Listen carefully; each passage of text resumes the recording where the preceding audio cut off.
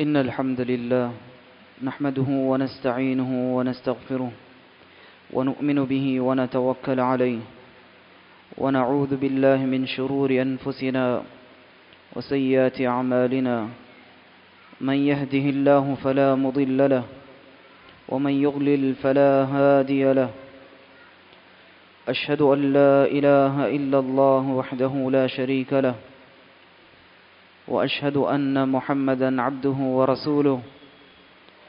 أرسله الله تعالى بالحق بشيرا ونذيرا وداعيا إلى الله بإذنه وسراجا منيرا.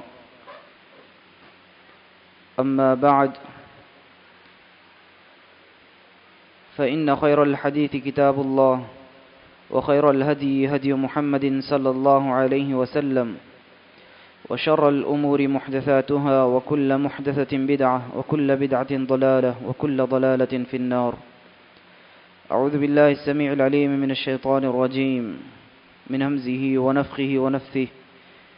يا أيها الناس اتقوا ربكم الذي خلقكم من نفس واحدة وخلق منها زوجها وبث منهما رجالا كثيرا ونساء واتقوا الله الذي تساءلون به والأرحام. إن الله كان عليكم رقيبا. يا أيها الذين آمنوا اتقوا الله وقولوا قولا سديدا. يصلح لكم أعمالكم ويغفر لكم ذنوبكم. ومن يطع الله ورسوله فقد فاز فوزا عظيما.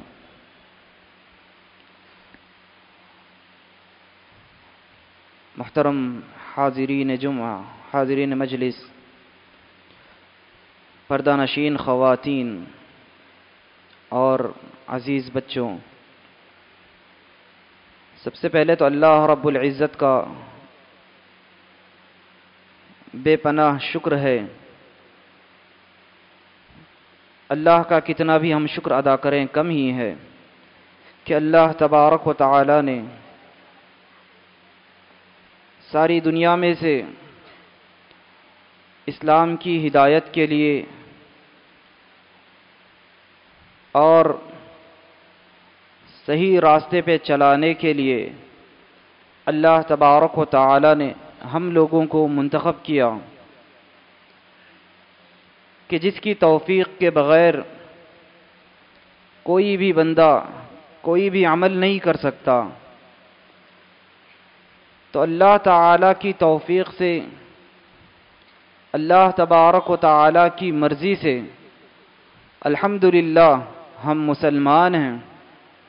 اور ساتھ ہی ساتھ اللہ تبارک و تعالی نے مسلمانوں میں سے بھی، اللہ تعالی نے اپنی توحید کے لیے ہمارا انتخاب کیا، جو کہ بہت بڑی نعمت بلکہ اس دنیا کی سب سے بڑی نعمت ہے اور ایسی نعمت ہے کہ دنیا کی بڑی سی بڑی نعمت بھی اس نعمت کے سامنے کوئی حیثیت نہیں رکھتی، رتی برابر حیثیت نہیں رکھ سکتی۔ اتنی بڑی نعمت اللہ تعالی نے ہمیں نوازی ہے۔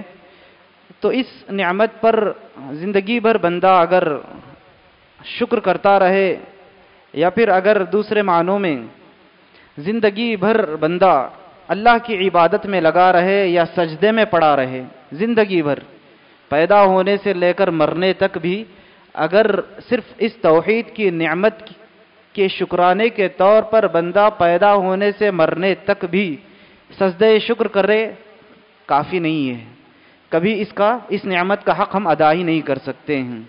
وہ مشہور حدیث ہمیں معلوم ہے کہ کل قیامت کے دن جو اللہ تبارک و تعالیٰ کی نعمتوں کا تذکرہ ہوگا اور ساتھ ہی ساتھ بندے کی عبادت کا کوئی تذکرہ نہیں ہوگا۔ اس کی وجہ کیا ہے؟ حدیث مشہور حدیث ہے کہ ایک بندہ جو اس دنیا کے اندر جیا کرتا تھا، جو سب سے بڑا مطلب بہت ہی زیادہ، سب سے بڑا تو نہیں، لیکن بہت زیادہ متقی، بہت ہی زیادہ عبادت گزار زندگی کا اکثر حصہ اس نے اللہ کی عبادت میں لگا دیا تھا۔ بہت بڑا عبادت گزار۔ تو اس بندے کو کل قیامت کے دن جب اللہ تبارک و تعالیٰ کے پاس لایا جائے گا، تو اللہ تبارک و تعالیٰ فرشتوں سے کہے گا کہ میرے فرشتوں، اس بندے کو میرے فضل سے جنت میں داخل کر دو۔ اللہ کہے گا کہ میرے فضل سے اس کو جنت میں داخل کر دو۔ تو بندہ کیا کہے گا؟ بندہ کہے گا کہ اللہ تو نے اپنے فضل کا تو ذکر کیا، مگر میری عبادت کا کہیں ذکر نہیں ہے۔ میری عبادت کا بھی کچھ ذکر کر لے کہ میرے فضل سے اور اس کی عبادت کی وجہ سے جنت میں داخل کر دو۔ تو اللہ پھر سے وہی کہے گا کہ نہیں، میرے فضل سے اس کو کیا ہے، جنت میں داخل کر دو۔ بندہ پھر سے وہی سوال کرے گا، دو تین مرتبہ سوال کرنے کے بعد اللہ تبارک و تعالی فرشتوں سے کہے گا کہ جاؤ میزان لے کر آؤ، ترازو لے کر آؤ۔ پھر اللہ تبارک و تعالی اس کی زندگی کی ساری عبادت کو ایک پلرے میں رکھے گا اور اللہ تعالی نے جو نعمتیں اس پر اس دنیا کے اندر کی تھیں، ان ساری نعمتوں میں سے ساری کی ساری نہیں، بس ایک نعمت جو اللہ تعالیٰ نے آنکھ کی شکل میں ہمیں دی ہے، اس نعمت کو لا کر دوسرے پلڑے میں رکھ دیا جائے گا۔ مگر اللہ تبارک و تعالیٰ کی یہ نعمت بھاری پڑ جائے گی اور اس کی زندگی کی ساری عبادت ہلکی پڑ جائے گی۔ پھر اس کے بعد بندہ کہے گا کہ اللہ، تو اپنے فضل ہی سے مجھے جنت میں داخل کر دے۔ تو کہنے کا مطلب یہ ہے کہ چھوٹی نعمت اللہ تبارک و تعالیٰ کی اتنی زیادہ اہمیت رکھتی ہے۔ تو اللہ تعالیٰ نے توحید کی شکل میں، اسلام کی شکل میں جو نعمت ہمیں دی ہے اس کے لیے ہم بڑے خوش نصیب ہیں اور اللہ تبارک و تعالیٰ کا کتنا بھی شکر بجا لائیں کم ہے۔ اور آگے اللہ تبارک و تعالیٰ نے اس سے بڑھ کر رمضان المبارک جیسا مہینہ ہمیں عطا کیا۔ اور اس رمضان المبارک کے مہینے میں اللہ تعالیٰ نے اس بات کی توفیق بھی ہمیں دی کہ اس کے لیے کچھ قیام اور سیام کریں، یہاں مسجد آئیں۔ ورنہ اگر اللہ کی توفیق نہ ہوتی تو بندہ مسجد آنا تو دور کی بات، مسجد کی طرف ایک قدم بھی نہیں اٹھا سکتا ہے۔ اگر اللہ کی توفیق نہ ہوئی تو مسجد کی طرف بندے کا ایک قدم بھی نہیں اٹھتا ہے۔ ہم دیکھتے ہیں۔ اور ایسے لوگوں کو دیکھ کر ہمیں سبق بھی حاصل کرنا چاہیے۔ اللہ کا شکر بجا لانا چاہیے۔ مسلمان ہیں، مگر رمضان المبارک میں بھی انہی مسجد کی طرف آنے کی توفیق نہیں ہوتی۔ نعوذ باللہ۔ اللہ کی پناہ، اللہ تبارک و تعالی نے ہمیں ایسے یعنی ایسے رہنے سے اللہ نے ہماری حفاظت کر لی ہے۔ اس پر اللہ کا شکر ہمیں بجا لانا چاہیے۔ الغرض، آج کے درس میں میں آپ لوگوں کے سامنے انشاءاللہ آج کی رات میں جو چنندہ صورتیں آپ کے سامنے پڑھی جائیں گی، انشاءاللہ اس میں سے یا تو ایک صورت یا آگے اور اگر وقت میرا رہا تو میں اور تھوڑی باتیں دوسرا سورہ لے کر میں آپ لوگوں کے سامنے رکھوں گا۔ ایک صورت انشاءاللہ جو آج آپ کے سامنے لیلت یعنی تراویح کے اندر پڑھی جائے گی۔ ان صورتوں میں سے ایک صورت انشاءاللہ سورت الملک ہوگی سورت الملک ہوگی، جس کی پہلی آیت، تبارک الذی بیدہ الملک وہو علا کل شیئن قدیر، یہ آیت ہے۔ تو اس صورت کے تعلق سے اللہ تبارک و تعالی نے اس صورت میں کیا کیا باتیں ہمارے سامنے رکھا ہے؟ تو اس کو جاننا ہمارے لیے بہت ہی ضروری ہے۔ نہ صرف اس صورت کو میں تو کہتا ہوں یا پھر اسلام ہی یہی کہتا ہے۔ میری تو بات خیر الگ ہے۔ اسلام کیا کہتا ہے؟ یہ اصل ہے۔ میری اور آپ کی بات حیثیت نہیں رکھتی ہے۔ اللہ کیا کہتا ہے؟ یہ حیثیت رکھتی ہے۔ تو اللہ تبارک و تعالی کے یعنی اس دین کا یہ کہنا ہے کہ اگر کوئی بندہ مسلمان ہے، اپنے آپ کو مسلمان کہتا ہے، تو واقعی معنوں میں قرآن مجید سے ایک خاص لگاؤ اس کا ہونا چاہیے۔ قرآن مجید سے ایک خاص محبت ہونی چاہیے۔ جہاں بندے کے بہت ساری چیزوں سے محبتیں ہوتی ہیں، بہت ساری چیزوں سے اس کا لگاؤ ہوتا ہے، اس کی دنیا بھر کی چیزیں اس کے ساتھ لگی رہتی ہیں، ان ساری چیزوں میں اگر کوئی بندہ اپنے آپ کو مسلمان کہتا ہے واقعی میں، تو قرآن مجید سے ایک الگ ہی رشتہ ہونا چاہیے مسلمان کا، ہر مسلمان کا۔ قرآن مجید کے ساتھ ایک خاص رشتہ ہونا چاہیے، ایک خاص محبت ہونا، ہونی چاہیے۔ خاص محبت کس انداز میں؟ صرف یہ کہ جو ہے مجھے قرآن سے محبت ہے، مجھے قرآن سے محبت ہے، مجھے قرآن سے محبت ہے، یہ کہنا نہیں۔ رشتے کا مطلب یہ ہے کہ ہر بندے مسلمان کو چاہیے کہ وہ قرآن مجید کو نہ صرف پڑھے۔ پڑھنا سیکھنا ہے، ضروری ہے، اور ساتھ ہی ساتھ قرآن مجید کے اندر اللہ تبارک و تعالی ہم سے کیا کہنا چاہتا ہے؟ یہ بات کا، یہ بات کو سمجھنا اور قرآن مجید کو پڑھ کے سمجھنے کی کوشش کرنا ہر مسلمان پر ضروری ہے، ورنہ وہ اپنے آپ کو مسلمان کہنے کا حق نہیں رہتا۔ اگر کوئی بندہ اپنے آپ کو مسلمان بھی کہتا ہے مگر قرآن سے کوسوں دور ہے، قرآن سے کوئی لگاؤ نہیں ہے، قرآن پڑھتا نہیں ہے، قرآن کو سمجھنے کی کوشش نہیں کرتا، تو ایسے بندے کا مسلمان ہونے کا کوئی فائدہ نہیں ہے۔ وہ اپنے آپ کو مسلمان نہیں کہہ سکتا۔ کیوں؟ واقعی معنوں میں یہ اللہ تبارک و تعالیٰ کا کلام یہ کسی اور کا کلام نہیں ہے۔ قرآن سے محبت ہمیں کیوں ہے؟ کیونکہ یہ اللہ کا کلام ہے، میرا اور آپ کا کلام نہیں ہے۔ یہ اللہ کا کلام ہے، اس ذات کا کلام ہے جس نے آپ کو پیدا کیا، مجھے اور آپ کو جس نے پیدا کیا، جس نے ساری دنیا کو پیدا کیا، جو ایک مقصد کی خاطر ہم سب لوگوں کو یہاں اس دنیا کے اندر بھیجا ہے۔ ایسے رب کا کلام ہے یہ قرآن، کوئی معمولی چیز نہیں ہے۔ اس لیے ہر بندے مسلمان کو نہ صرف رمضان میں، نہ صرف رمضان میں رمضان میں تو خاص رشتہ ہونا ہی چاہیے۔ مگر ساری زندگی بھر ہر مسلمان کا ایک قرآن مجید سے ایک خاص لگاؤ ہونا چاہیے، جب بھی موقع ملے، نہ صرف موقع ملے، میں تو کہتا ہوں کہ بند ہر بندے کو ایک وقت خاص ہر دن نکال لینا چاہیے قرآن مجید کے لیے، چاہے اس کے پاس وقت ہو یا نہ ہو۔ قرآن مجید کے لیے اپنا ایک الگ شیڈیول بنا لینا چاہیے کہ میں اس وقت قرآن مجید کو پڑھوں گا اور قرآن مجید کو پڑھ کر سمجھنے کی کوشش کروں گا کہ میرا اللہ مجھ سے کیا چاہتا ہے۔ اللہ تبارک و تعالیٰ کو کیا مطلوب ہے؟ اللہ کیا مطالبہ کر رہا ہے؟ یہ جاننا بے حد ضروری ہے۔ اور اگر واقعی معنوں میں یقین مانیے، اگر کوئی بندہ تنہائی میں قرآن کو لے کر، قرآن سے محبت رکھتے ہوئے، قرآن کو لے کر تنہائی میں بیٹھ کر کسی کونے میں قرآن کو پڑھے اور قرآن کو سمجھنے کی کوشش کرے اور اس بات کو ذہن میں رکھے پڑھتے پڑھتے کہ یہ اللہ مجھ سے کہہ رہا ہے۔ اللہ مجھ سے کہہ رہا ہے، یقین مانی اگر کوئی بندہ پڑھتا ہے اس انداز سے، تو کچھ ہی آیتیں گزری ہوں گی، اس کی آنکھوں سے آنسو ضرور جاری ہوں گے۔ اس کی آنکھوں سے آنسو ضرور جاری ہوں گے۔ کیوں؟ کیونکہ ایسا ویسا کلام نہیں ہے۔ کفار و مشرقین جب اس کلام کو سنتے، رونے لگتے، سجدے میں گر جاتے، تو ہم اور آپ تو الحمد اللہ نے مسلمان بنائے، اللہ پر ہم ایمان رکھتے ہیں۔ تو اگر کوئی بندہ واقعی معنوں میں قرآن مجید کو پڑھے، اکیلے میں بیٹھ کر، تنہائی میں بیٹھ کر، اس بات کو ذہن میں رکھ کر کہ اللہ مجھ سے یہ کہہ رہا ہے۔ اللہ سے گویا کہ میں بات کر رہا ہوں، اللہ مجھ سے بات کر رہا یہ سمجھ کر پڑھنے لگے تو یقین مانیے اس کی آنکھوں سے آنسو جاری ہوں گے۔ تو اس وجہ سے ضروری ہے ہر بندے مسلمان پر کہ قرآن کو سمجھنے کی کوشش کرے۔ تو آئیے، آج سورت الملک انشاءاللہ ہم لوگ پڑھیں گے، سنیں گے۔ تو اس سورے میں اللہ تبارک و تعالی کیا کہتا ہے؟ اس کے تعلق سے کچھ باتیں آپ کے سامنے رکھ دیتا ہوں۔ سب سے پہلی چیز یہ ہے کہ سورت الملک کے تعلق سے بہت ساری باتیں ہیں، کچھ صحیح بھی ہیں، کچھ ضعیف بھی چیزیں۔ اس کے تعلق سے معاشرے میں کچھ فضائل ایسے ہیں جو صحیح بھی ہیں، کچھ کیا ہیں، ضعیف بھی ہیں۔ تو سب سے پہلی بات اس کی فضیلت کے تعلق سے جو ثابت ہے، وہ یہ ہے کہ ایک حدیث آتی ہے، جس کے اندر نبی کریم صلی اللہ علیہ وسلم نے بیان کیا اور اس حدیث کو اکثر علماء نے صحیح قرار دیا ہے، جیسے ابن تیمیہ، امام البانی رحمہ اللہ وغیرہ نے اس حدیث کو صحیح بھی قرار دیا ہے۔ بعض علماء نے حسن بھی قرار دیا ہے۔ الغرض، حدیث کیا ہے؟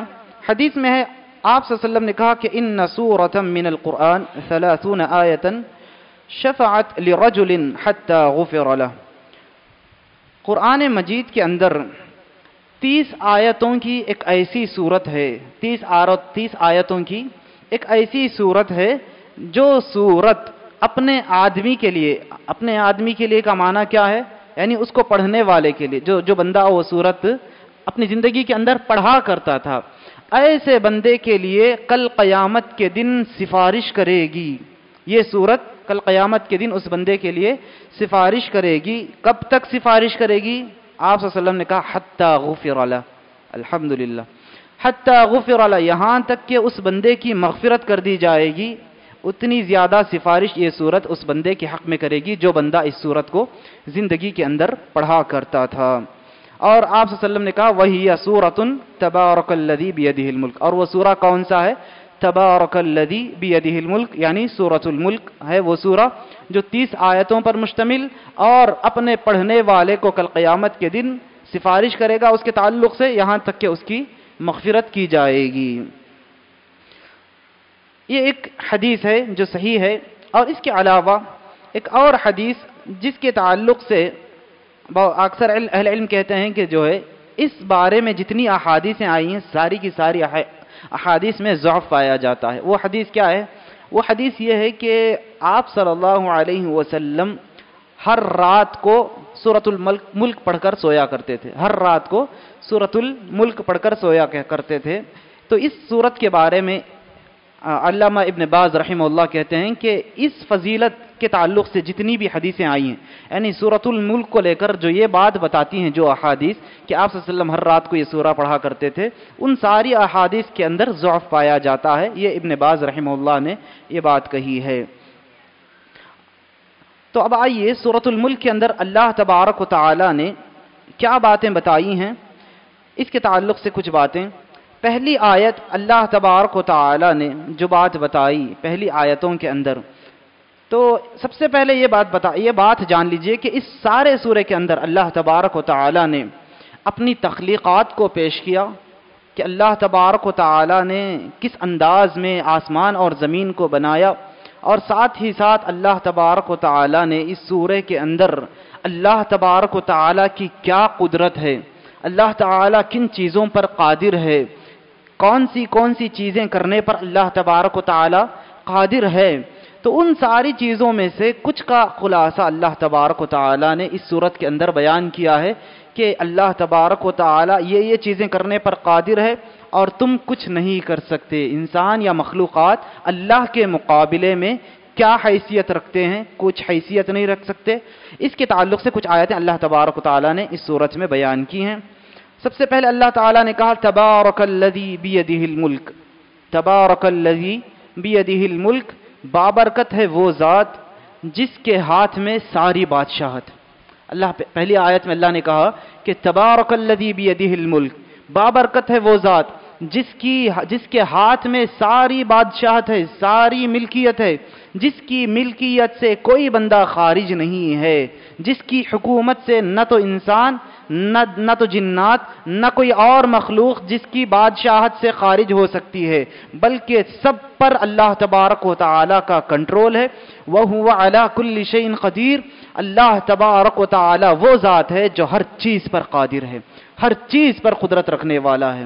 قرآن مجید میں اللہ تعالی نے اپنی ملکیت کے تعلق سے جو باتیں بتائی ہیں، ان باتوں میں سے ایک بات جو سورہ رحمان کے اندر اللہ تعالی نے بتائی ہے۔ اس کا آپ کے سامنے میں تذکرہ کرتا ہوں۔ یعنی بادشاہت اللہ کی کیسی ہے؟ اور اگر کوئی بندہ اللہ کی بادشاہت میں سے نکل کر کہیں اور جانا چاہتا ہے، تو جا سکتا ہے یا نہیں جا سکتا؟ اللہ تعالیٰ نے قرآن مجید میں صورت الرحمن کے اندر ارشاد فرمایا، یا معشر الجن والانس، ان استطعتم ان تنفذوا من اقطار السماوات والارض، فانفذوا، لا تنفذون الا بسلطان. کہا کہ اے جنوں اور انسانوں کی جماعت، یا معشر الجن والانس، ان استطعتم، اگر تم طاقت رکھتے ہو، اس بات پر کہ تم نکل کر بھاگ سکو آسمان اور زمین کے جو حدود ہیں، ان حدود کو چھوڑ کر کہیں اور بھاگ سکتے ہو، تو بھاگ کر دکھاؤ۔ بھاگ کر دکھاؤ، اللہ تعالیٰ نے چیلنج کیا ہے۔ اب آگے کون اس کی استطاعت رکھ سکتا ہے؟ جنات بھی نہیں رکھ سکتے، انسانوں کی تو دور کی بات، وہ جنات جن کے اندر ایک لمحے میں ادھر سے ادھر جانے کی طاقت ہے، جن کے اندر غائب ہونے کی طاقت اللہ تعالیٰ نے دے رکھی ہے، جو غائب رہتے ہیں، نظر نہیں آتی، ایسی مخلوق، کبھی اللہ کے جو حدود ہیں، ان حدود سے باہر نہیں جا سکتی۔ اللہ نے کہا، لا تنفذون الا بسلطان، تم جہاں بھی جاؤ گے، اللہ کی حکومت ہوگی۔ اللہ کی سلطنت وہاں ہوگی، لا تنفذون الا بسلطان، فنفذو، بھاگ کر دکھاؤ۔ یہ اللہ کی ملکیت ہے۔ اللہ کی ملکیت سے کوئی بندہ بھاگ نہیں سکتا۔ آج انسان اتنے دعوے کرتے ہیں، اپنی طاقت کا ان کو اتنا غرور ہے، جو اس آسمان زمین سے نکل کر چاند پر پہنچنے کی بات کرتے ہیں۔ اگر ان کے اندر طاقت ہے، تو آسمان اور زمین کے جو حدود اللہ نے بنائے ہیں، ان سے بھاگ کر دکھائیں۔ کبھی نہیں بھاگ سکتے، یہ اللہ کی ملکیت۔ تبارک الذی بیدہ الملک۔ وہ بابرکت ہے وہ ذات جس کے ہاتھ میں ساری ملکیت ہے۔ وہ ہوا علی کل شیء قدیر، جو ہر چیز پر قدرت رکھنے والا ہے۔ اور اللہ تعالی نے آگے کہا الذي خلق الموت والحیات لیبلوکم اللہ نے کہا کہ وہ ذات ہے اللہ تعالیٰ کی جس نے موت اور زندگی کو پیدا کیا ہے۔ جو زندہ کرنے والا بھی وہی ہے، موت دینے والا بھی وہی، موت کو پیدا کرنے والا بھی وہی ہے، زندگیاں پیدا کرنے والا بھی وہی ہے۔ قرآن میں کئی مقامات پر اللہ تعالیٰ نے اس یعنی اس ٹاپک کو بتایا، اس بات کو بتایا کہ کون ہے جو زندگی پیدا کرتا ہے، موت پیدا دیتا ہے۔ والذی یحییکم ثم یمیتکم ثم یحییکم، وہی ذات ہے جس نے تمہیں پیدا کیا، اللہ ہی ہے جو تمہیں پیدا کر، پھر تمہیں مارے گا، پھر تمہیں زندہ کرے گا دوبارہ۔ یہ اللہ تبارک و تعالی ہی ہے، اس کے علاوہ کوئی اور نہیں ہے۔ اللہ کی وہ ذات ہے جس نے موت اور الذی خلق الموت والحیات، موت اور زندگی کو جس نے پیدا کیا۔ کیوں پیدا کیا؟ اللہ تعالی نے اتنی مخلوقات بنائی انسانوں کو اور جنات کو بنایا، موت اور زندگی کو بنایا، کیوں بنایا؟ ایک سوال اٹھ سکتا ہے، اللہ تعالیٰ نے کیوں بنایا؟ اس کا جواب فوراً اللہ تعالیٰ نے دے دیا ہے۔ الذي خلق الموت والحیات لیبلوکم ایکم احسن عملا۔ لیبلوکم ایکم احسن عملا، تاکہ اللہ دیکھے، تمہیں آزمائے کہ تم میں سے بہتر عمل کرنے والا کون ہے۔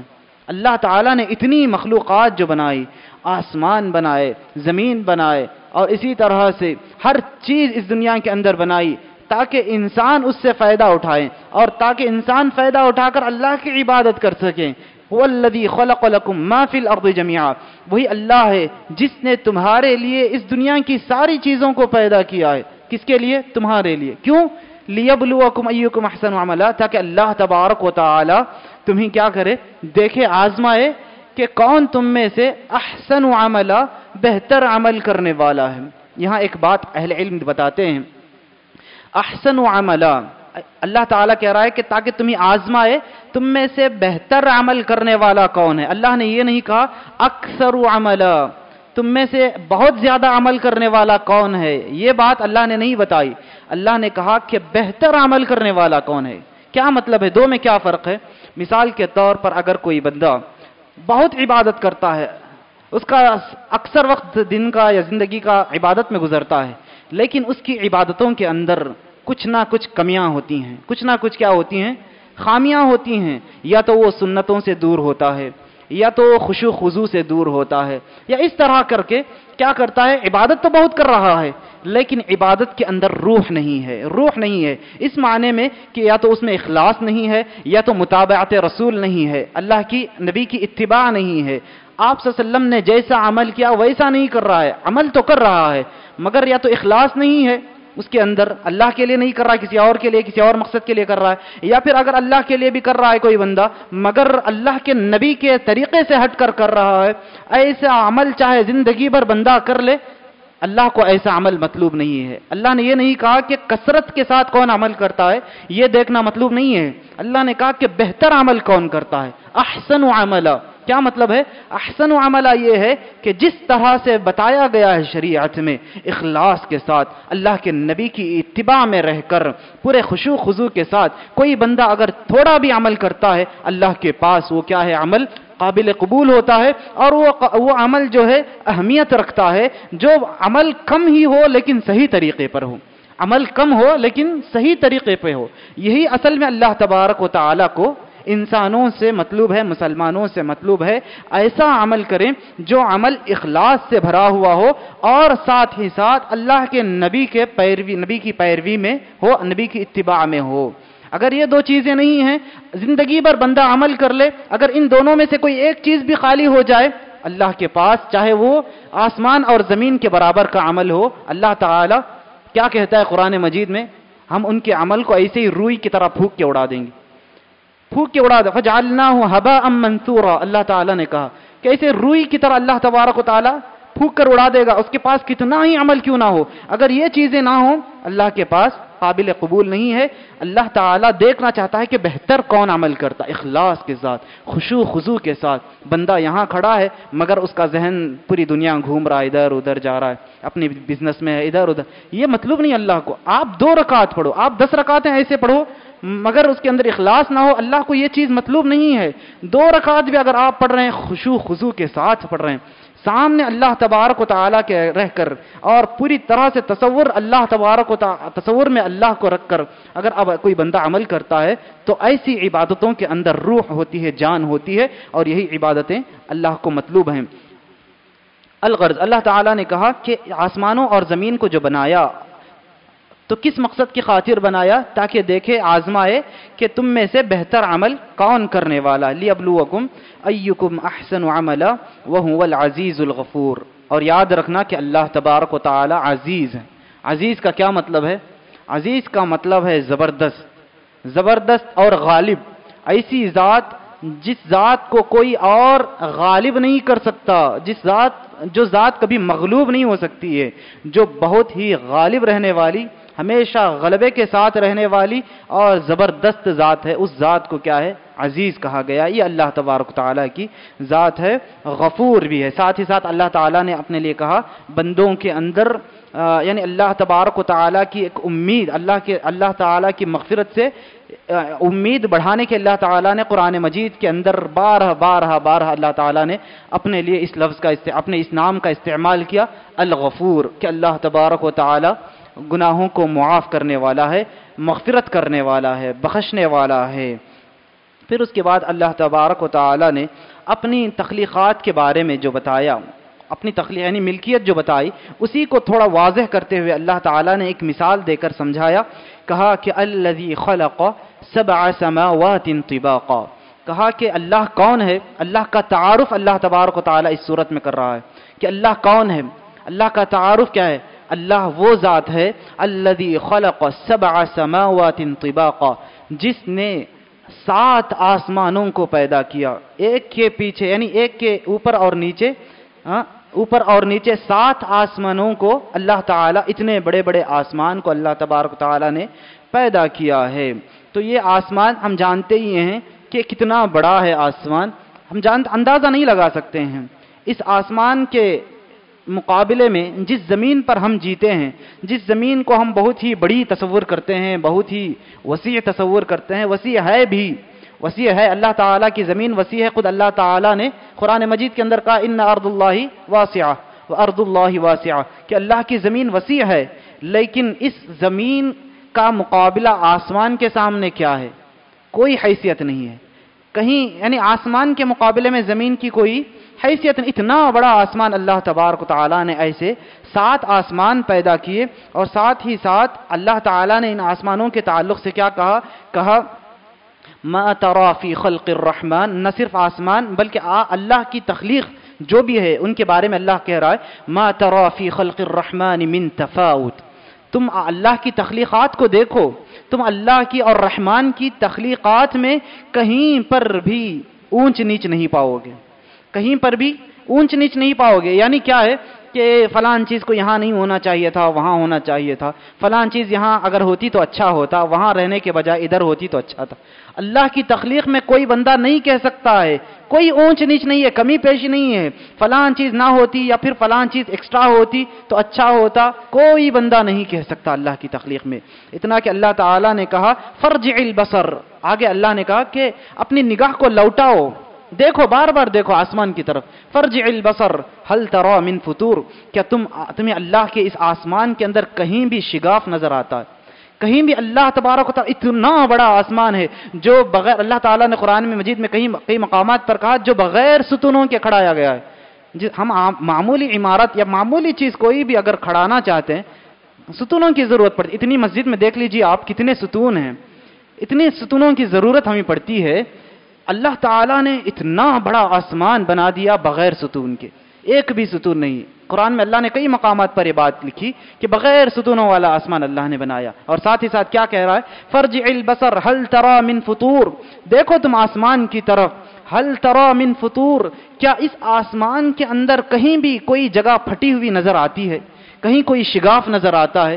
کہیں جو ہے یعنی کچھ گڑبڑی نظر آتی ہے؟ ہرگز نہیں۔ اللہ تعالی نے کہا۔ پھر کیا کہا؟ ثم مرج البصر، اور لوٹاؤ اپنی نظروں کو، اور دیکھو، اور تحقیق کرو اس آسمان کے تعلق سے۔ یا اللہ کی تخلیقات میں، اور غور و فکر کرو۔ ثم مرج البصر، ثم ارجع البصر کرتین، بار بار لوٹاؤ۔ ينقلب قلیب البصر خاسئا وهو حسیر۔ یہ تمہاری نگاہیں دوبارہ تمہاری طرف لوٹ کر آئیں گی، اس حال میں کہ وہ تھک چکی ہوں گی، تھکی ماندی ہوں گی۔ اللہ کی تخلیق میں کوئی شگاف یا کوئی گڑبڑی تم نہیں دکھا سکتے۔ یہ بات اللہ تبارک و تعالی نے اپنی قوت اور اپنی طاقت کو ظاہر کرنے کے لیے مثال دے کر سمجھا دی۔ اور اس کے بعد اللہ تعالی نے اس آسمان میں جو پائے جانے والی چیزیں ہیں، اس میں سے نجوم کا تذکرہ فرمایا۔ نجوم نجوم کیا ہیں؟ ستارے۔ جن جن کو ہم اسٹارز کہتے ہیں، ستارے کہتے ہیں، تو ان ستاروں کے تعلق سے اللہ تعالیٰ نے قرآن مجید میں کئی مرتبہ باتیں بتائی ہیں۔ تو ان ستاروں کو پیدا کرنے کا جو مقصد ہے، اللہ تعالیٰ نے قرآن مجید میں تین مقاصد ان کے بتائے ہیں۔ جو اللہ تعالیٰ نے یہ جو ستارے بنائے ہیں قرآن مجید میں، اللہ تعالیٰ نے ان کے تین مقاصد بتائے کہ اللہ تعالیٰ نے ان ستاروں کو کیوں پیدا کیا ہے۔ سب سے پہلی بات کیا کہی؟ وَلَقَدْ زَيَّنَّ السَّمَاءَ الدُّنْيَا۔ بِمَصَابِحِ اللہ تعالیٰ نے کہا کہ چراغ، چراغوں کے ذریعے سے یعنی ستاروں کے ذریعے سے اللہ تعالیٰ نے آسمان دنیا کو کیا کر دیا؟ مزین کر دیا۔ خوبصورتی کے لیے۔ اللہ تعالیٰ نے یہ جو ستارے بنائے ہیں، سب سے پہلے ایک تو خوبصورتی کے لیے اللہ تبارک و تعالیٰ نے ستارے بنائے ہیں۔ اور واقعی معنوں میں جب کبھی ہم دیکھتے ہیں، جب آپ دیکھ لیجیے، اگر کسی دن آسمان جو ہے، ستاروں سے خالی ہوتا ہے تو اس وقت یعنی ستارے اگر نظر نہیں آتے ہیں، تو آسمان کے اندر خوبصورتی تھوڑی کم ہو جاتی۔ اور اس کے مقابلے میں اگر ستارے ہوتے ہیں، ستارے جب نظر آتے ہیں، اللہ تعالیٰ نے ان ستاروں کے ذریعے سے اللہ تعالیٰ کیا کرتا ہے؟ آسمان کو مزین کر دیتا ہے اور اسی طرح سے خوبصورت وہ نظر آنے لگتا ہے۔ یہ پہلا مقصد اللہ تعالیٰ نے بتایا کہ ان اسٹارز کے ذریعے یعنی ان نجوم کے ذریعے سے اللہ تعالیٰ نے آسمان دنیا کو مزین کر رکھا ہے۔ اور ساتھ ہی ساتھ اس کا دوسرا مقصد کیا ہے؟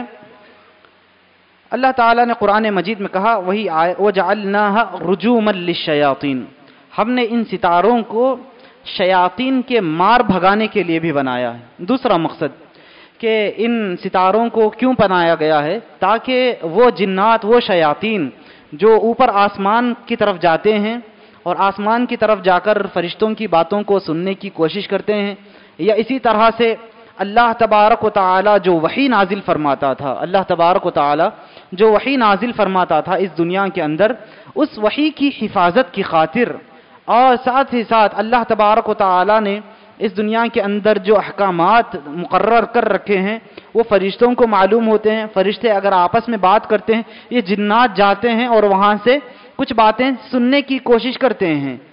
تو ایسے جنات جو وہاں سے کچھ باتیں سننے کی کوشش کرتے ہیں، ان جنات کو مار کر بھگایا جاتا ہے۔ کس کے ذریعے سے؟ نجوم کے ذریعے سے۔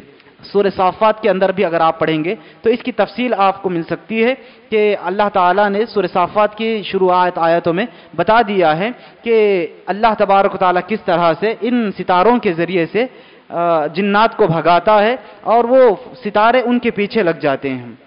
اگر کوئی جن، ایک تو پہلے وہاں سے ان کو مار کر بھگا دیا جاتا ہے۔ اور اگر کوئی جن وہاں سے کوئی بات اچک لیتا ہے، تو کوئی ستارہ کیا کرتا ہے؟ اس کا پیچھا کرتا ہے اور اس کو مارتا ہے۔ اور پھر بھی اگر اس کے باوجود اگر کوئی جن، جیسے کہ ہم جانتے ہیں کہ وہاں سے کچھ بات اچک کر لا لیتا ہے تو اس کے ساتھ سو جھوٹ ملا کر نجومیوں کے پاس جا کر بتاتا ہے۔ پھر لوگ نجومیوں کے پاس جاتے ہیں اور ان کی باتوں کو وہ سن کر ان پر عمل لانے کی یعنی عمل لاتے ہیں اور باقاعدہ ان پر عمل کرنے کی کوشش کرتے ہیں، جو کہ ایک کفریہ عمل ہے۔ تو الغرض ان یعنی نجوم کو پیدا کرنے کا جو مقصد ہے، شیاطین کو مار بھگایا جاتا ہے ان کے ذریعے سے اور ساتھ ہی ساتھ اللہ کی وحی جو ہوتی ہے، اس کی حفاظت ہوتی ہے۔ اللہ تبارک و تعالی وہی کی حفاظت ان چیزوں کے ذریعے سے کرتا ہے، ان نجوم کے ذریعے سے کرتا ہے۔ اور ساتھ ہی ساتھ ایک اور جگہ اللہ تبارک و تعالی نے تیسرا مقصد ان ستاروں کا جو بتایا، وہ یہ ہے کہ ان ستاروں کے ذریعے سے لوگ کیا ہے؟ راستہ دیکھتے ہیں۔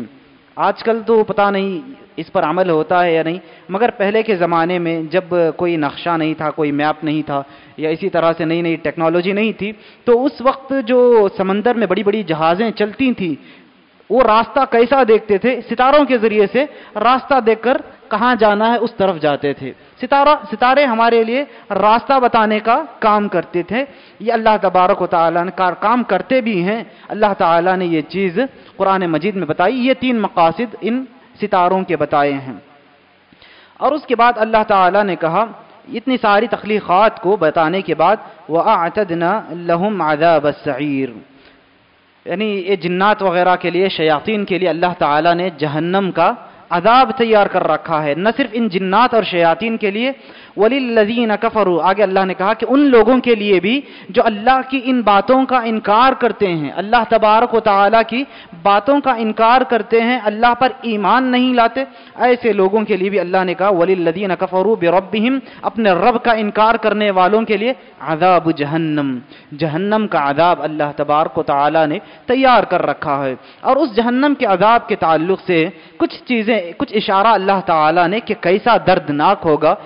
آگے کی آیتوں میں دو تین آیتوں میں اللہ تعالیٰ نے بات بتائی، کہا، وَلِلَّذِينَ كَفَرُوا بِرَبِّهِمْ عَذَابُ جَهَنَّمْ وَبِئْسَ الْمَصِيرُ۔ جو اپنے رب کا انکار کرتے ہیں، ایسے لوگوں کے لیے جہنم کا عذاب ہے اور وہ بہت ہی برا ٹھکانہ ہے۔ بِئْسَ الْمَصِيرُ ایک تو بہت برا ٹھکانہ ہے۔ اور آگے اللہ نے کہا، اذا القوا فيها سمعوا لها شهيقا وهي تفور۔ اللہ نے کہا کہ جب کبھی بھی کسی جماعت کو اس کے اندر ڈالا جاتا ہے، داخل کیا جاتا ہے سمعوا لها شهيقا۔ تو جہنم کی ایک عجیب حیبت ناک آواز ہوگی۔ اس آواز کو وہ لوگ سنیں گے۔ ایک دم ڈراؤنی آواز ہوگی، جہنم اپنے سے اندر سے آواز نکالے گی۔ شہیق کہتے ہیں، اس آواز کو جو گدھا ایک دم گھٹیا آواز نکالتا ہے۔ ایک دم بری آواز نکالتا ہے، جو قبیح آواز نکالتا ہے۔ ایسی قبیح آواز جہنم سے آئے گی۔ اور وہ جہنم کی آواز یہ جہنم میں ڈالے ڈالے جانے والے لوگ سنیں گے۔ اور اس کے بعد اللہ نے کہا وہی تفور، یہ جہنم جو ہے، غضب کے مارے پھٹ رہی ہوگی۔ غضب کے مارے یعنی وہی یا تفور یعنی اس کے اندر ایک دم کھول رہی ہوگی جہنم۔ کھول رہی ہوگی۔ اور آگے اللہ نے کہا، تقاد تمیز من الغیب اتنی غضبناک ہوگی، قریب ہے کہ وہ کیا ہے، پھٹ پڑے۔ اتنی زیادہ غضبناک ہوگی جہنم۔ جب ان کو لوگوں کو اس میں ڈالا جائے گا، اتنی زیادہ غضبناک جہنم ہوگی۔ اللہ کہتا ہے تقاد تمیز من الغیق غیظ و غضب سے پھٹ پڑے اتنی زیادہ ہولناکی اس کے اندر ہوگی، اتنی زیادہ کھول رہی ہوگی جہنم۔ اس کے بعد اللہ تعالیٰ نے کہا، کلما القی فیحا فوجن سألہم خزنتها، جب کبھی اس کے اندر کسی جماعت کو ڈالا جائے گا، تو وہاں جہنم کے جو داروغہ ہوں گے، جہنم کے جو فرشتے ہوں گے، ان سے پوچھیں گے علم یأتکم نذیر؟ کیا تمہارے پاس کوئی ڈرانے والا نہیں آیا تھا؟ کیا اللہ کی آیتوں کو پڑھ کر سنانے والا کوئی نہیں آیا تھا؟ کیا اس کی آیتوں کو تم نے نہیں سنا؟ تو وہ کہیں گے علم یأتکم نذیر؟ قالوا، بلا. جہنمی کہیں گے کہ کیوں نہیں؟ ہمارے پاس ڈرانے والا ہے، اللہ کی آیتیں آئیں، قرآن مجید آیا، مگر ہم نے اس کو سن کر بھی ان سنا کر دیا۔ ہم نے اس پر ایمان نہیں لایا تو آج ہمارا یہ حال ہو رہا ہے۔ الغرض، یہ اللہ تبارک و تعالی نے جہنم کے تعلق سے ایک ہلکا سا نقشہ کھینچا۔ پھر اس کے بعد اللہ تبارک و تعالی نے جو آیتیں بتائیں، ان آیتوں میں بھی اللہ تبارک و تعالی نے اپنی جو قدرت ہے، اس کو بتایا کہ اللہ تعالیٰ نے اس ساری زمین کو جو بنایا جعل لکم الارض ذلولا تمہارے لیے میسر کر دیا۔ زمین کو اللہ، ہم دیکھتے ہیں نا، ہم خود چلتے پھرتے ہیں زمین کے اندر۔ اللہ تعالیٰ نے اتنا آسان چلنا پھرنا ہمارے لیے زمین میں بتا، بنا دیا ہے۔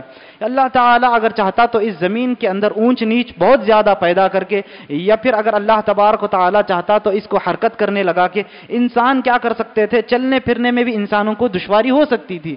اللہ تبارک و تعالیٰ کے بس میں کوئی بڑی بات نہیں ہے۔ اللہ کے لیے کہ اللہ تبارک و تعالیٰ زمین کو چل پھرنے والا بنا دے یا گھوم بہت زیادہ گھومنے والا اس حیثیت سے کہ انسان اس پر انسانوں کا رہنا دشوار ہو جائے، بنا سکے اللہ کے لیے کوئی مشکل نہیں۔ لیکن اللہ نے کیا جعل لکم الارض دلولا زمین کو تمہارے لیے اللہ تعالیٰ نے کیا کیا؟ آسان بنایا، تمہارے لیے میسر کر دیا۔ آسان یعنی جس کے، جس پر تم کیا کر سکتے ہو؟ فم شوفی بنا کی بہا کہ تم آسانی کے ساتھ اس پر کیا کرو؟ ان راستوں پہ چلو، پھرو۔ پھر اس کے بعد اللہ نے ساتھ ہی ساتھ لوگوں کو ڈرانے کے لیے بتائی کہ جو لوگ یہاں اس دنیا میں رہ کر اس نعمت ان نعمتوں سے فائدہ اٹھا رہے ہیں، اللہ کی بڑی بڑی نعمتوں سے بے پناہ فائدہ اٹھا رہے ہیں۔ مگر ساتھ ہی ساتھ اللہ کے ناشکری بھی کرتے ہیں۔ اللہ سے ڈرتے نہیں ہیں، گناہ کے کام کرتے ہیں، غلط کام کرتے ہیں۔ اللہ نے ایسے لوگوں سے کہا امین تم منفی سما یکسف بکم الارض، فاذا ہی تمور. یعنی کہا اللہ تعالیٰ نے، کیا زمین میں چل پھر کر اللہ کی نافرمانیاں کرنے والے، زمین میں رہنے والے لوگ اس بات سے بے خوف ہو چکے ہیں کہ این یکسف بکم الارض، کہ اللہ تبارک و تعالیٰ ان کو کیا ہے، زمین کے اندر دھسا دے۔ زمین کے اللہ تم نافرمانیوں کی وجہ سے، اللہ کی یعنی اللہ کی نافرمانی اور اللہ تبارک و تعالیٰ کے راہ کو چھوڑ کر غلط راہ کو اپنانے کی وجہ سے۔ کیا لوگ اس بات سے بے وقوف، بے خوف ہو چکے ہیں کہ اللہ تبارک و تعالیٰ ان کو زمین کے اندر دھسا دے، پھر اس کے بعد زمین کیا ہے حرکت کرنے لگے، چل پھرنے کے لائق بندے نہ رہ جائیں۔ ایسے کئی عذابات اللہ تبارک و تعالیٰ نے پہلے کی قوموں میں بھیجے ہیں۔ زلزلے کی شکل میں اللہ تبارک و تعالیٰ بارہا انسانوں کو اللہ کی یاد دلاتا ہے۔ اللہ تبارک و تعالیٰ کی طرف سے یہ آنے والے زلزلے ایک طرح سے اللہ کی طرف سے کیا ہوتے ہیں؟ وارننگ ہوتے ہیں۔ کہ دیکھو اگر اللہ چاہے تو تمہیں ایک لمحے کے اندر کیا کر سکتا ہے؟ زمین کے اندر دھسا سکتا ہے اور زمین کو اللہ پھاڑ کر تمہیں اندر پہنچا سکتا ہے۔ اللہ اس بات پر قادر ہے، اس سے بے خوف نہ ہو نہیں ہونا چاہیے۔ اللہ کو ہمیشہ یاد رکھنا چاہیے۔ اور ساتھ ہی ساتھ اللہ تعالیٰ نے ایک اور سوال کیا، کہا کہ ام امین تم منفی سما علیکم حاصبہ فستعلمون کیف نذیر ایک تو اللہ کیا کر سکتا ہے؟ زمین کو پھاڑ کر تمہیں زمین کے اندر دھسا سکتا ہے۔ کیا بندے اس بات سے بھی بے خوف ہو چکے ہیں کہ اگر اللہ چاہے تو آسمان سے ان پر پتھروں کی بارش کر دے؟ اللہ چاہے تو کیا بڑی بات ہے؟ اللہ کی وہ ذات جو اتنی بڑی ملکیت رکھتی ہے، جو جس کے صرف کن کہنے پر ہر چیز عمل میں آ جاتی ہے، جو صرف کن کہتا ہے یعنی ہو جا، تو ہو جاتی ہے، وہ چیز ہو جاتی ہے۔ تو ایسے ذات کے لیے، ایسی ذات کے لیے کوئی بڑی بات نہیں ہے کہ وہ چاہے تو تم پر آسمان سے پتھر کی بارش کر دے کیا بندے اس بات سے بے خوف ہو چکے ہیں کہ اگر اللہ چاہے تو کیا کرے؟ آسمان سے پتھر کی بارش نازل فرمائے۔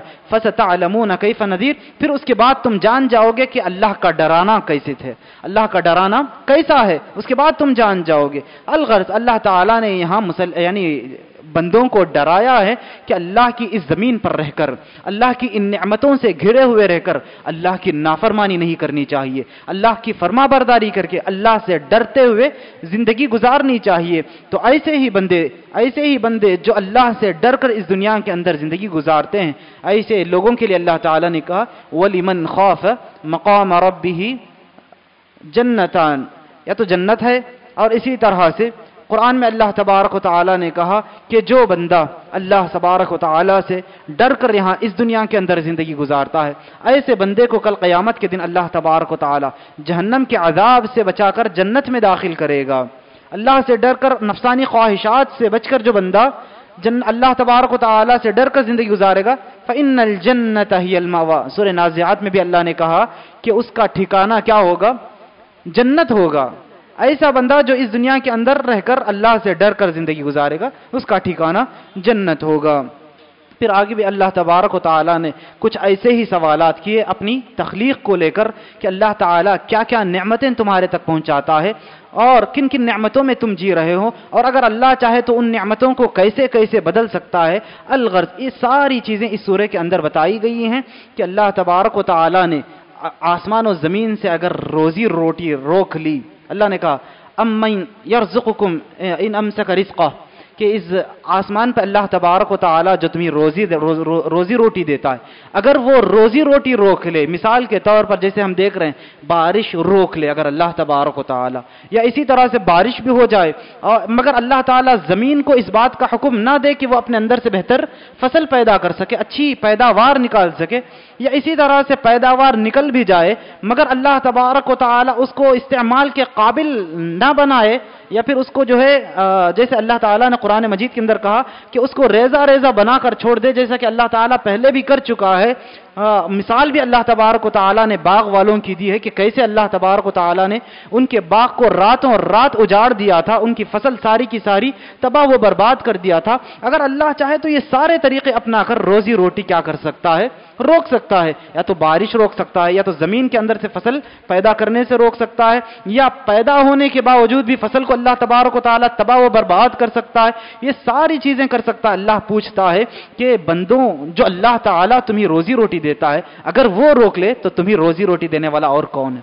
اللہ کے علاوہ روزی روٹی تمہیں کون دے سکتا ہے؟ اللہ کے علاوہ کوئی اور روزی روٹی نہیں دے سکتا۔ اور اسی طرح اس آ... اس صورت کی آخری آیت میں اللہ تبارک و تعالی نے ایک اور سوال پوچھا، وہ کیا ہے؟ قل ارائیتم ان اصبح ماؤکم غورا۔ تم بتاؤ لوگوں سے اللہ تعالیٰ نے پوچھا، اے نبی، آپ ان سے کہہ دیجیے کہ بتاؤ، ان اصبح ماؤکم غورا، اگر اللہ تبارک و تعالیٰ نے تمہارے یعنی پانی جو اللہ تعالیٰ نے پینے کے قابل تمہیں بنایا ہے۔ اگر اس پینے والے پانی کو اگر اللہ تبارک و تعالیٰ چاہے تو تم سے دور کر دے یعنی تمہاری پہنچ اس تک نہ ہو، اس کو ہلاک کر دے یا پھر اس کو روک لے، تو پھر فمن یاتیکم بما معین تو اللہ کے علاوہ کون ہے جو تمہیں صاف و ستھرا پانی پینے کے لیے لا کر دے سکے؟ کون ہے؟ کوئی ذات نہیں ہے اللہ تبارک و تعالیٰ کے علاوہ۔ تو یہ ساری نعمتیں اللہ تبارک و تعالیٰ نے صورت الملک کے اندر بتائی۔ اپنا تعارف گویا کہ اللہ تبارک و تعالیٰ نے اس سورے کے اندر کروایا ہے کہ اللہ کی ذات کون ہے۔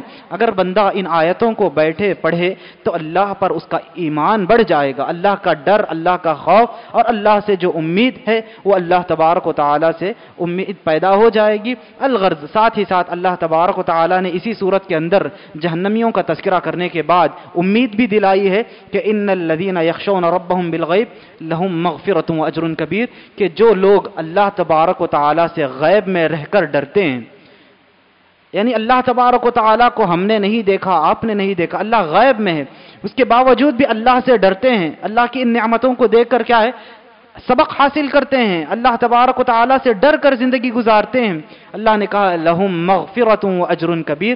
ایسے لوگوں کے لیے بہت ہی بڑی مغفرت اور بہت ہی بڑا اجر اللہ تبارک و تعالیٰ نے تیار کر رکھا ہے۔ تو جہاں پر اللہ تبارک و تعالیٰ سے ڈرنا ہے، اللہ کے عذاب سے ڈرنا ہے، وہیں پر اللہ کی ذات سے ہمیں امید بھی لگانی ہے۔ یہ دونوں ہمارے ایمان کا ایک حصہ یعنی دو حصے ہیں، دو پر کی طرح ہیں کہ اللہ کا خوف بھی ہو اور اللہ کی ذات سے ہمیں امید بھی ہو، ان دونوں چیزوں کو لے کر ہمیں آگے بڑھنا ہے۔ انہی دونوں دونوں چیزوں کے ذریعے سے ایمان مکمل بھی ہوتا ہے۔ نہ صرف خوف اس انداز میں ہو کہ بندے کے اندر سے امید ختم ہو جائے، کہ بندہ جو ہے اپنے رب سے مایوس ہو جائے۔ اللہ تبارک و تعالی جبکہ قرآن مجید کے اندر کہتا ہے کہ یا عبادی الذین اسرفوا علی انفسهم لا تقنطوا من رحمت اللہ کہ اے وہ لوگوں جنہوں نے اپنے نفسوں پر زیادتی کی ہے، لا تقنتو من رحمت اللہ اللہ کی رحمت سے مایوس مت ہونا، اگرچہ کہ تم نے ہزار گناہ کیے ہوں، مگر اللہ کی رحمت سے مایوس نہ ہونا، اور بالخصوص ان ایام میں، جن ایام سے ہم گزر رہے ہیں،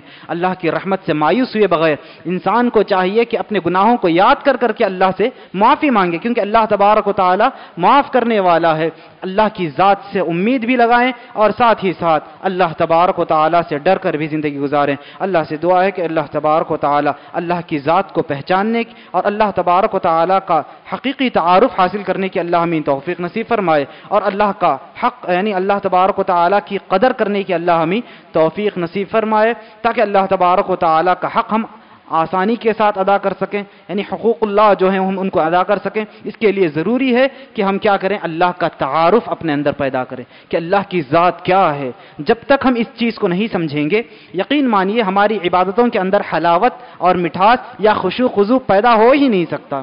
جب تک ہم جس ذات کے لیے ہم عبادت کرتے ہیں، ہم اس ذات کو نہیں پہچانیں گے، تو کیسے ہماری عبادت مکمل ہو سکتی ہے؟ ہم اس ذات کی عبادت جس ذات کی عبادت ہم کر رہے ہیں، اس ذات کے بارے میں ہمیں جاننا ضروری ہے کہ وہ ذات کتنی زیادہ طاقتور ہے، کتنی زیادہ ملکیت رکھتی ہے، کتنی زیادہ اس کی بادشاہت ہے۔ یہ بات جب تک ہم جانیں گے نہیں، ہماری عبادتوں کے اندر حقیقی لذت نہیں پیدا ہوگی، حلاوت نہیں پیدا ہوگی اور خوشو خضو بھی نہیں پیدا ہوگا۔ لہٰذا ضروری ہے کہ اللہ کا تعارف حاصل کریں۔ اللہ کو جانیں پہچانیں۔ الغرض اللہ سے دعا ہے کہ اللہ تبارک و تعالی اللہ کی ذات کو صحیح معنوں میں جاننے اور اس کا تعارف حاصل کرنے کے اللہ ہمیں توفیق نصیب فرمائے اور زندگی بھر اللہ سے ڈر کر اور اللہ سے امید لگائے ہوئے زندگی گزارنے کے اللہ ہمیں توفیق نصیب فرمائے اللہ کی ان نعمتوں کا شکر بجا لانے کے اللہ ہمیں توفیق نصیب فرمائے عبادتوں کی شکل میں اور اسی طرح سے زبانی اور اسی طرح عملی اعتبار سے اللہ کا شکر بجا لانے کے اللہ ہمیں توفیق نصیب فرمائے اقول قولی هذا واستغفر الله لي ولكم ولسائر المسلمين من كل ذنب فاستغفروه إنه هو الغفور الرحيم.